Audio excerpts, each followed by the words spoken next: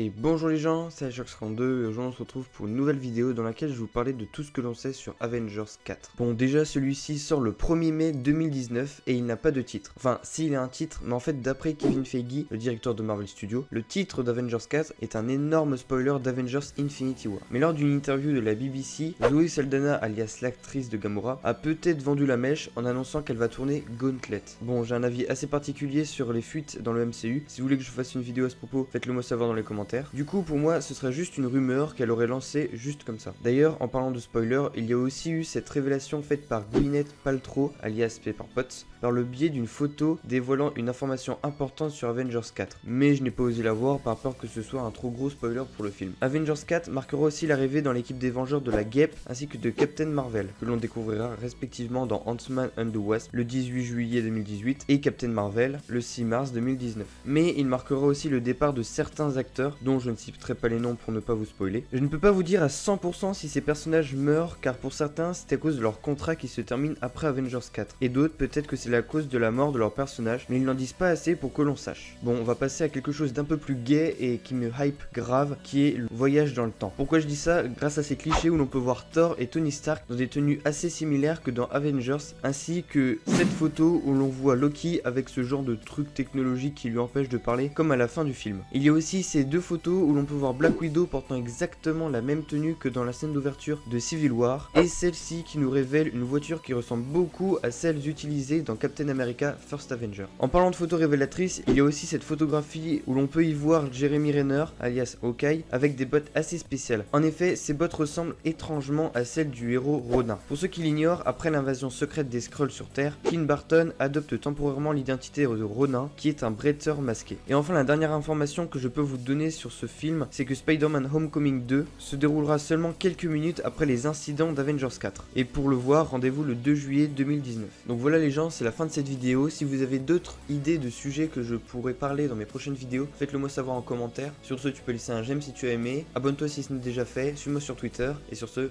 ciao